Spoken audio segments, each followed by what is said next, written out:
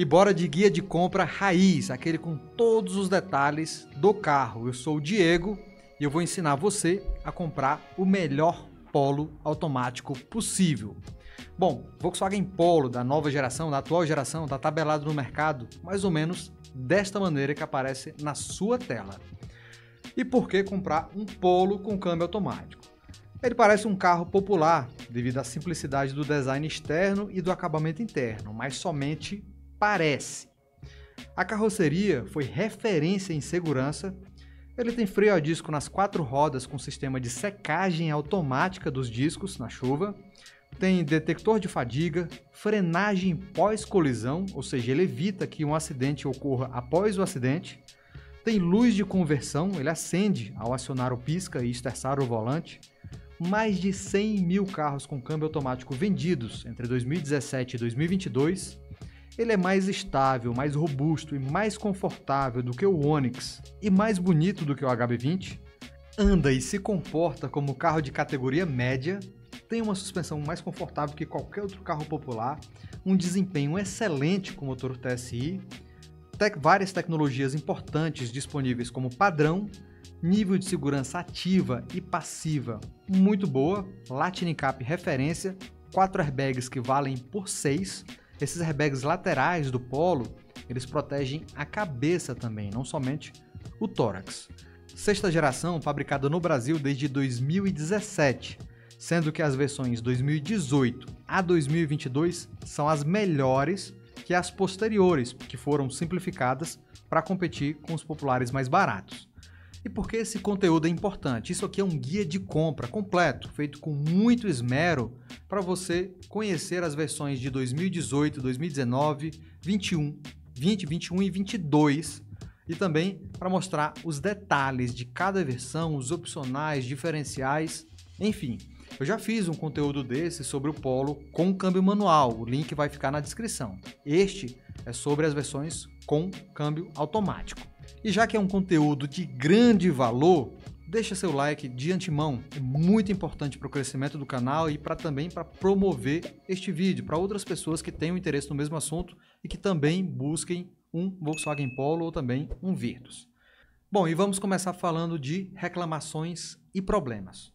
Uma das principais queixas do, dos proprietários diz respeito ao padrão de acabamento. O Polo, especialmente na versão Highline, era um carro bastante caro, porém com muitos plásticos no interior. Então as pessoas reclamavam tanto do aspecto visual quanto do contato com essas peças e também do barulho que alguns exemplares faziam em estradas ruins, como paralelepípedo, calçamento.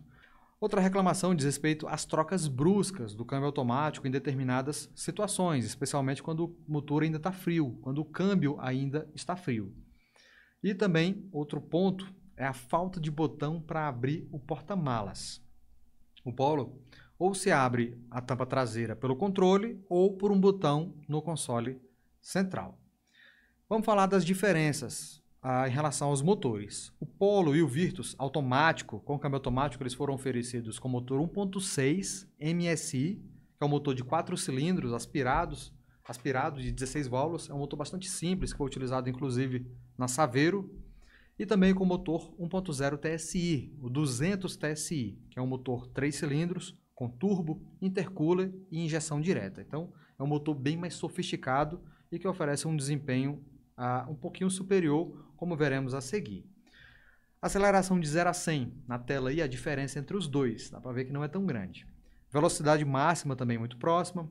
Retomada de velocidade que simula, é a retomada de velocidade ela simula uma ultrapassagem consumo de combustível e também o custo de manutenção nas revisões programadas. É importante salientar que na realidade é um pouco diferente, porque a sofisticação adicional do motor TSI vai impor um custo adicional também. Tá? O motor 1.6 ele foi associado às versões de entrada, às versões básicas, e o motor TSI às versões intermediária e topo. Tá? Bora falar sobre os equipamentos, os itens básicos de cada versão. O polo de entrada ele é conhecido como MSI. Simplesmente, ele não tem um nome de versão, é simplesmente polo MSI. Então ele tem vidros elétricos nas quatro portas, um rádio simples, conhecido como Media Plus, e as calotinhas ah, também. Ele não tem freio a disco nas quatro rodas. O freio de, a, traseiro a disco é uma exclusividade da versão TSI, tá bom? O Polo MSI saiu com alguns pacotes opcionais. O Interatividade 1 agrega Composition Touch com Apple CarPlay e Android Auto, sensor de estacionamento traseiro e rodas de liga Aro 15, modelo Viper. Essa roda é exclusiva do Polo. Em relação às evoluções, o Polo MSI passou por algumas. Na linha 2019, os retrovisores elétricos passaram a ser item de série. Antes eles eram não eram oferecidos. Na linha 2020, os pacotes Interatividade 2 e Safety passou a ser item de série. Ou seja, o Polo MSI 2020 para frente passou a sair com sensor de estacionamento traseiro, multimídia e controle eletrônico de estabilidade. Então, isso é um item muito importante para você que preza segurança. E 2021 foi o último ano modelo do Polo MSI, tá? Bom, vamos falar agora do Comfort Line. Ele tem motor 1.0 TSI como padrão, freio a disco nas quatro rodas e agrega itens em relação à TSI, tá?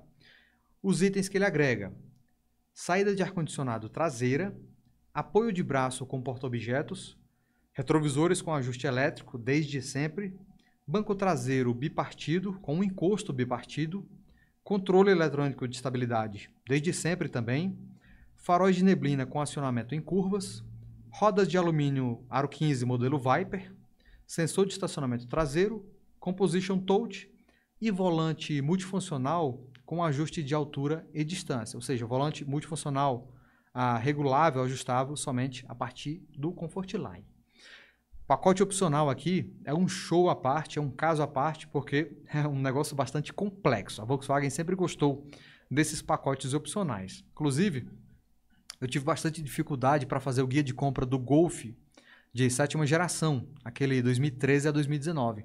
Justamente por isso, porque haviam vários pacotes opcionais. Eu vou deixar, inclusive, o link na descrição aqui, porque o Golf é uma evolução do Polo. É um carro que oferece as mesmas características, mas aperfeiçoadas. Então, ele é aquela essência do hatch europeu com uma pegada bem mais esportiva. Vou deixar o link na descrição, se você se interessar, confere lá. Bom, em relação aos pacotes opcionais do Polo Comfort Line.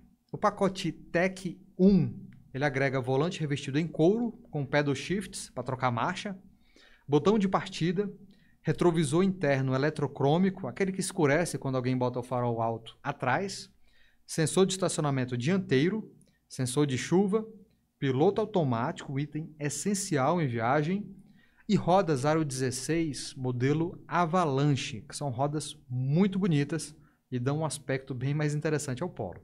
O pacote Tech 2, ele agrega todos os itens do Tech 1 e mais alguns detalhes, como detalhes em preto brilhante, ar-condicionado automático, porta-luvas refrigerado, detector de fadiga do motorista, é um sistema que, por alguns comportamentos do motorista, ele identifica que ele está cansado e emite alertas, monitor de pressão dos pneus, ele vai avisar se a calibragem está correta ou não, frenagem pós-colisão, aquele item que eu falei no início, câmera de ré e uma divisória no porta-malas para elevar a altura do assoalho, que é um item muito útil para quando vai se colocar objetos mais pesados. Tem ainda o pacote Bits, mas eu vou comentar sobre ele adiante. Vamos falar da evolução do Polo Comfort Line. Em 2019 entrou a opção pelo pacote Bits, tá?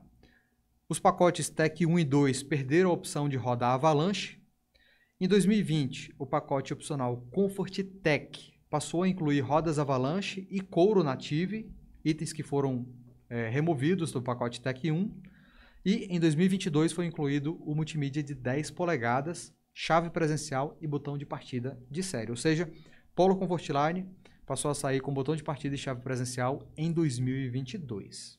Na tela eu vou deixar os modelos de roda que foram oferecidos no Comfort Line. Agora eu vou falar do Polo Highline, que é a versão topo de linha abaixo de uma outra, que é um pouco mais exclusiva. A gente vai comentar também sobre ela mais adiante. Bom, Em relação ao Comfortline, o Polo Highline agrega rodas avalanche como item padrão, DRL de LED nos faróis de neblina, sensor de estacionamento dianteiro, volante revestido em couro, piloto automático, ar-condicionado automático, botão de partida e, e porta-luvas refrigerado. Tudo isso é padrão no Polo Highline. Pacotes opcionais. Primeiro, revestimento em couro Native, tá? E o pacote Tech High. O que, é que o pacote Tech High agrega? Todos os itens do Tech 2, lá do Comfortline, e mais o Discover Media de 8 polegadas, que é um sistema multimídia herdado do Golf, aquele Golf que a gente comentou agora há pouco. E também tem um pacote tecnológico, ele agrega todos os itens, todos, e mais rodas 17, modelo Razor, e quadro de instrumentos digital Active Info Display. Então, o Polo fica muito sofisticado, muito interessante com todos esses opcionais. E para alegria de muitos, é fácil encontrar exemplares usados com tudo isso. Bom, em relação às evoluções, na linha 2019, a roda 17 passou a ser um opcional separado e o Active Info Display também passou a ser um, um opcional separado. Tá? Em 2020, o Polo Highline perdeu os pacotes opcionais.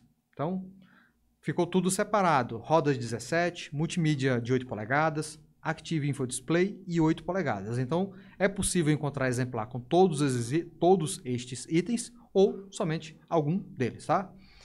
Em 2021, 2021 ou 2022, não consigo precisar exatamente, foi incluído os retrovisores com rebatimento elétrico, um item que já era oferecido no Nivus. Agora vamos falar do Polo Bits, tá? É um pacote opcional oferecido nas versões Comfortline e Highline no ano modelo 2019. E o que, que ele agrega? Então, emblema lateral, retrovisores vermelhos, faixa vermelha no painel, da maçaneta de uma porta a outra, alto-falantes de melhor qualidade, inclusive com assinatura no, nos twitters da coluna, e um subwoofer no porta-malas, que inclusive reduz o tamanho do porta-malas, tá? Não dá para deixar o forro no estágio mais baixo, é sempre necessário deixar lá em cima e o porta-malas fica menor. Se for preciso usar toda a capacidade, tem que colocar alguma coisa ali em cima do step.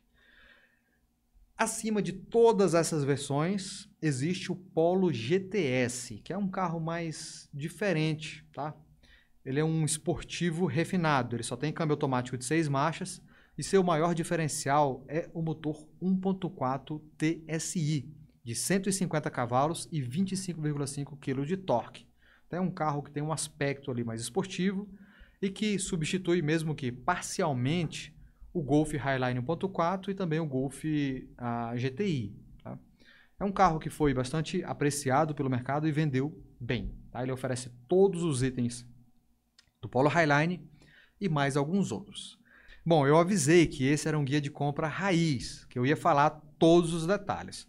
Se você tem um polo ou teve o polo e viu que eu esqueci algum item, deixa aqui no comentário que você vai ajudar bastante o canal e também alguém que pretenda adquirir um polo automático. Eu vou deixar na tela o guia de compra do Volkswagen Golf, inclusive tem uma história lá do Golf muito legal, é um carro muito bacana que eu gosto. Vou deixar a história de um homem polêmico que fez parte da Volkswagen e deixou a marca dele para sempre. Eu vou deixar esses dois vídeos aí na tela, confere, tá? Então são conteúdos de extrema qualidade. Muito obrigado pela audiência. Ah, se esse vídeo foi conteúdo para você, deixa o like, se inscreve no canal para nos ajudar. Até mais.